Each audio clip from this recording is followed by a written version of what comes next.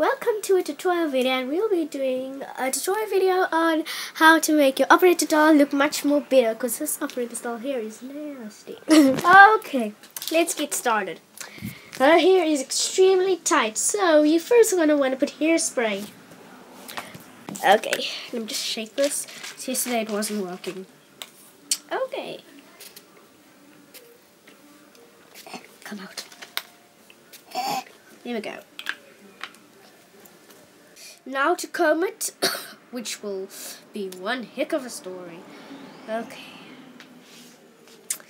Praise the Lord. Oh, teeth is Chelsea. Is to die.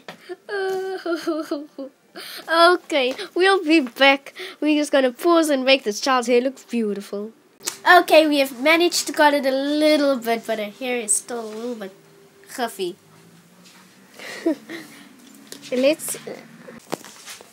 Okay, now we're gonna wash it. Wash the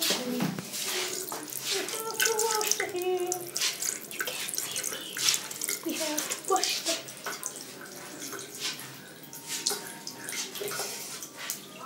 Okay.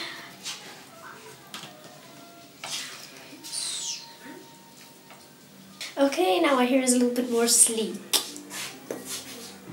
Okay. Now I'm just gonna cut off these edges.